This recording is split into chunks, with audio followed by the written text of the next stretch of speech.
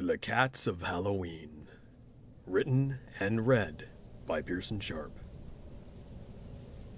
They gather in a forest glade, one Stygian autumn night, when just the moon through filtered gloom casts haunting wisps of white.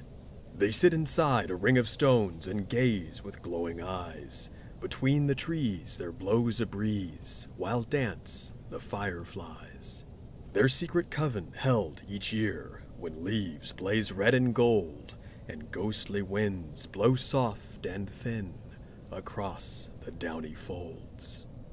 As voices out of graveyards stir and lonely church bells cry, they roam the streets on padded feet neath winds that witches ride. These furry specters of the shade who stalk the night unseen, as pumpkins shine and doorbells chime, beware, it's Halloween.